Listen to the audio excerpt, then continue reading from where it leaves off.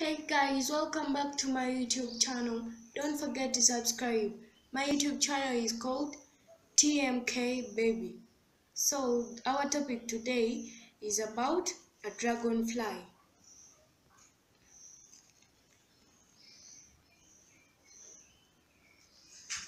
As you see, this is the image of the dragonfly.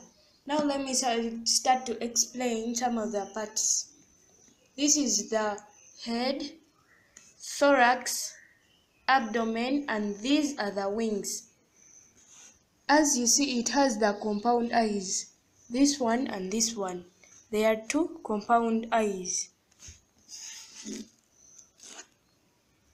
As you see its skin, it is black in color with white. As the wings, colorless and black.